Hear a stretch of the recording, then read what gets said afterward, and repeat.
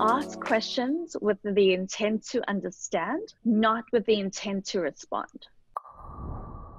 When you ask a question and you listen, listen to understand what that person is conveying to you, the message or what they're saying. Don't listen just to with your follow up question.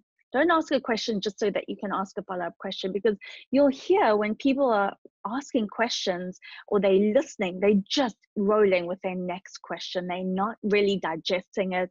They are just so quick to answer. It's like take that time to digest and understand what they are truly saying, and it might lead you in a completely different direction into what you are looking to gain from that person.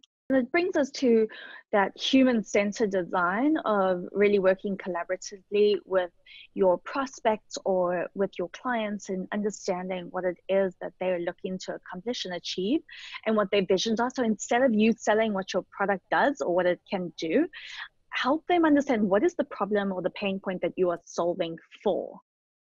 Um, and I think those questions will allow you to reach that point being hungry to learn and not wanting to be the smartest person in the room. And it's such a cliche, but it's really asking a lot of questions and asking questions with the intent to understand, not with the intent to respond.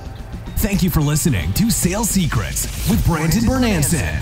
If you enjoyed the show, please don't forget to hit that subscribe button right now so you never miss an episode that drops on the daily. Your success is our success. This show is sponsored by Seamless.ai, the world's best sales leads. Get direct dials, emails, and cell phones for anyone in seconds. Request an invite to join for free at Seamless.ai. That's Seamless.ai.